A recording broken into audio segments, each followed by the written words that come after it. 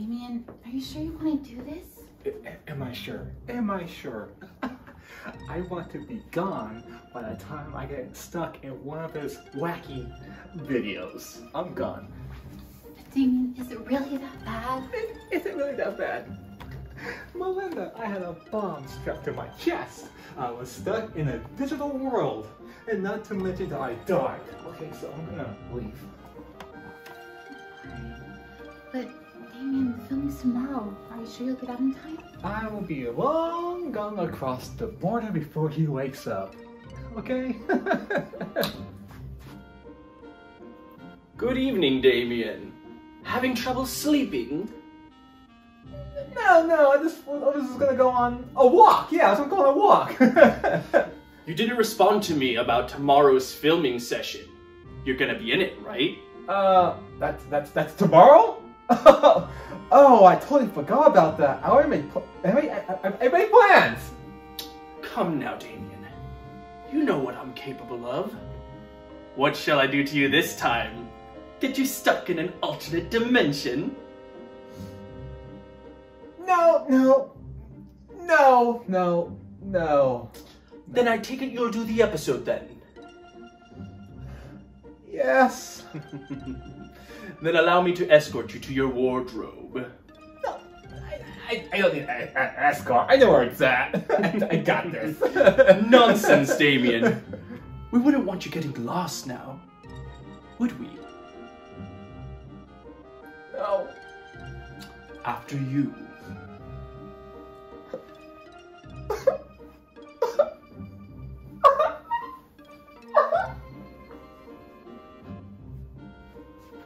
Melinda! I've had Damian prepare a little song for you. Oh, what?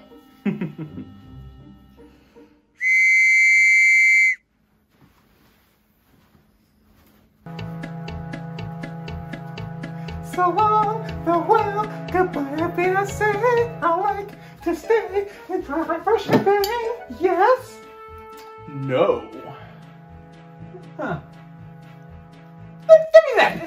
Jen. I am an, an, an adult. This is mine. Hey, hey, hey, get back here! Fuck you, Jen. Hey, hey, hey, hey! I You're, deserve this. you're, you're like you have a review to do right now! Oh, What, what, what a dick, huh? Let's just do the review. Stupid Damian.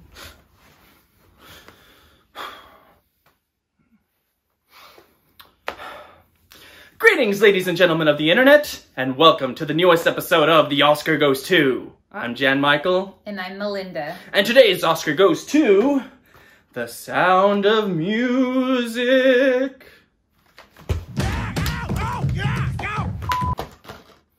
Let's begin.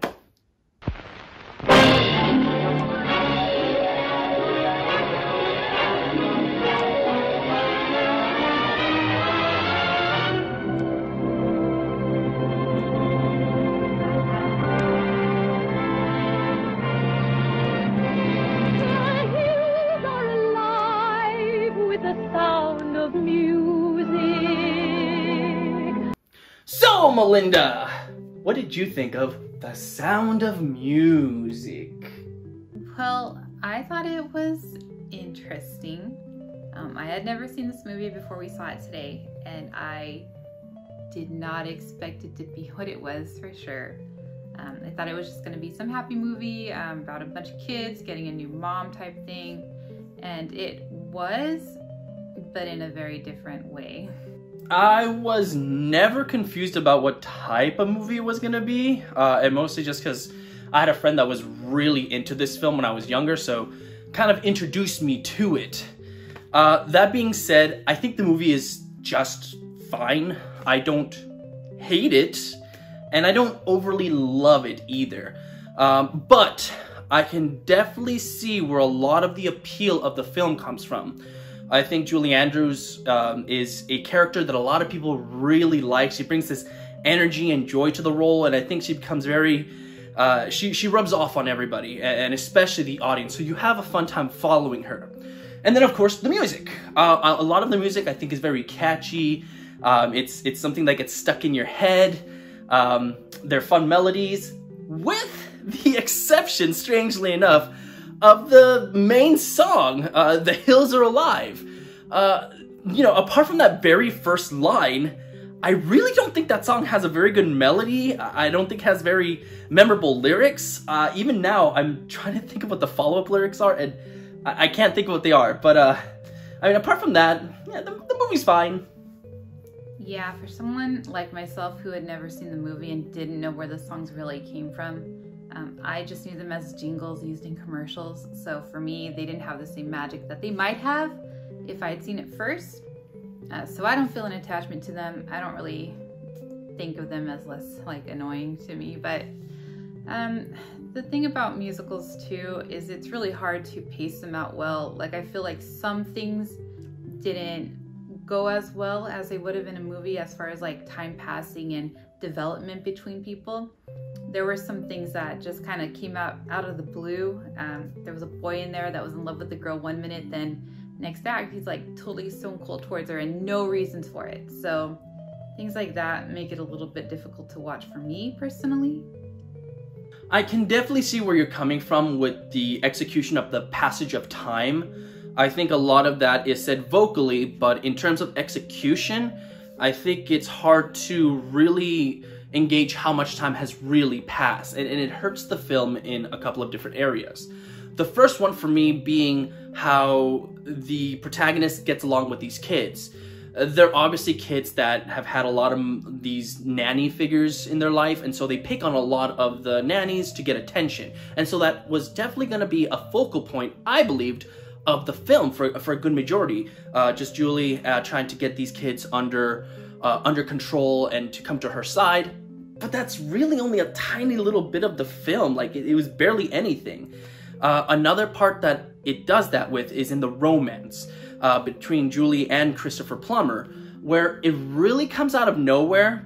And that's not to say you don't know it's gonna go that route. It is. It's very obviously gonna go in that direction, but it happens like that, and it's just kind of yeah, it's a little bit jarring. Uh, it, it's just kind of like why why did they do it that fast? Although to follow it up, I did like that uh, during that point, she leaves, and then when she comes back, he kind of understands how he feels about her. I thought that was sweet. It's just that initial uh, romantic connection they had that I felt didn't quite work as well. All right, and I guess it's testament to um, Christopher Plummer's acting skills because he apparently didn't like Julia Andrews, um, and he he was probably the best part of that movie, to be honest. The kids were alright, and I'm not too much of a fan, as you know, of the kind of like ditzy characters. Um, I like Julie Andrews as Mary Poppins for sure, the stern actress. Um, she's great like that. I'm not a fan of like, again, the crazy ditzy, unsure person. But yeah, I would say that he was probably the best part of that movie. I'm actually gonna disagree with you here. I think actually it's Julie Andrews who's the heart of the film and is really what makes it a joy to watch. Uh, I don't dislike Christopher Plummer. I, I, think he did a fine job, uh, but I don't think you can really um, ignore the impact that Julie has. You know, from the very first shot of her walking up the hill, she has these vocals and she's powerful. She's she's larger than life, um, and I I really liked her. And then you kind of get to the third act, which. Uh, like really downplays her. She's not really a central focus of that third act. At the very, very last part of the film where it gets really serious. Uh, at that point, it like focuses on Christopher, and yeah, again, he's good. Um, I just I don't think it's as strong as as some of the other parts of the film. I I, I still like it. I think it still has good moments, but especially because you know Julie's kind of taking a back seat to all these other characters, so I don't know. It just feels like a, a different movie at that point. All right, no totally disagree. When you see him acting like a stern, like captain of the ship for his family, to transitioning to a really sweet guy with the Baroness, like those are totally different characters to me, and he does them very well. Seemed very natural, so better than Julie. Sorry. But other than that, um, the movie was again, it was just fine. Um, the music was very unusual. There's a part where there's a song specifically critiquing Julie Andrews' character that says, you know, that she's a problem and like all these issues and they played it at her wedding which I thought was really rude. So I'm not really sure what they were thinking with that one, but I don't think that was a great call.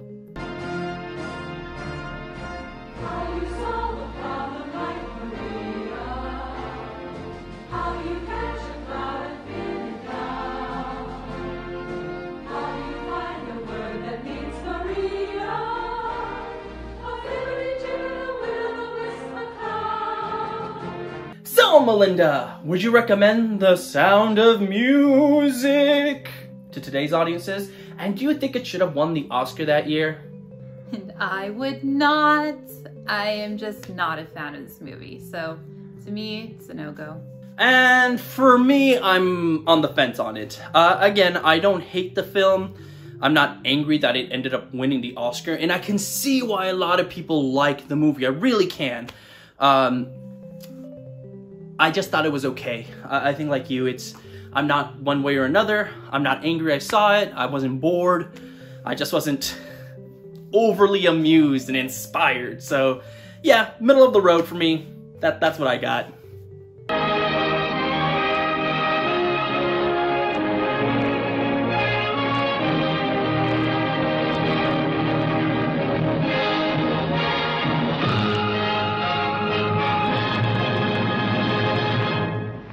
By the way, if you're just seeing it for the first time like I did, know that it is three hours long.